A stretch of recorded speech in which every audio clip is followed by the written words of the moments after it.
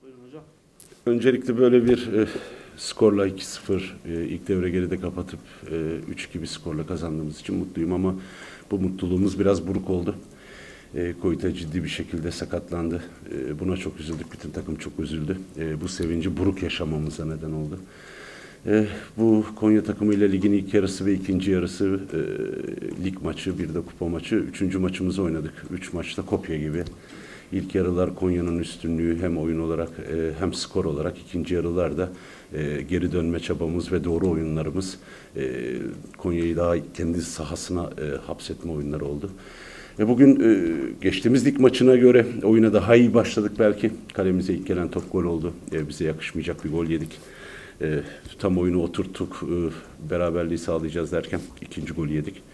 Devre arası e, önce e, oyuncularımın ikna olması gerekiyordu. E, çünkü e, böyle bir geri dönüşün yarı finalde e, çok değerli olduğunu paylaştım onlarla. Belki önce bir gol, bir kanıt, sonra iki gol atabilirsek üçüncü gol.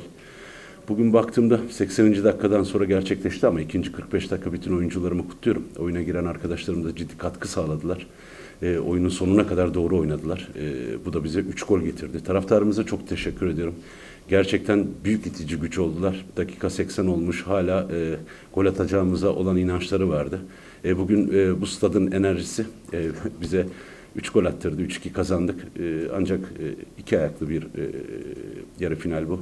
E, her şey Konya'da belli olacak. Evet bugün kazandık. Şimdi orada daha doğru oynamak lazım. E, orada gol bulmak lazım. E, daha zor bir e, rövanş maçı olacak. Ama umuyorum e, finale kalan taraf oluruz e, ve bu e, finale kalış hikayemizde e, hem camiamız hem oyuncularımız hepimiz tarafından unutulmaz. Sonunda da hayalimizi gerçekleştiririz. Oyuncularımı kutluyorum, taraftarımıza teşekkür ederim.